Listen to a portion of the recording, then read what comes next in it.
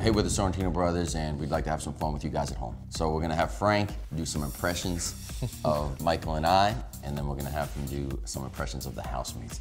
They don't know that yet. Maximo, why don't you show them what we do once in a while? Get to it. It's a man's world out there. And are you saying I'm not a man? I'm just calling you a frail male. I'm the alpha male. Move out of my way. It's my way or it's no way.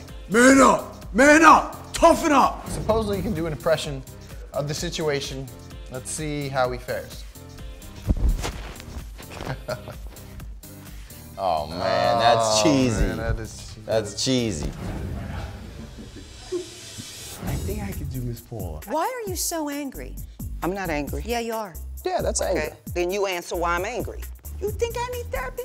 You, you're the doctor. You tell me. If you're not angry, I don't know. You figure it out. You're the psychiatrist. Don't you get me to that place! No! You don't get me to that place! Lord have mercy. Farrah. Oh, man. Baby, do you want a drink? He's going after the Yeah. Abraham family right now. No, no, no, no. Nothing but love. Nothing but love. What do you think about that, Debra? Well, I don't like that. I want to apologize on my brother Frank's behalf because those were awful impersonations. What? Um, he, believe he might- needs a lot of practice. Might have to apologize to the Abraham family yes. as well. I'm very sorry from the bottom of my heart. He has no manners, Yeah, and he's not very good at impressions. very inappropriate.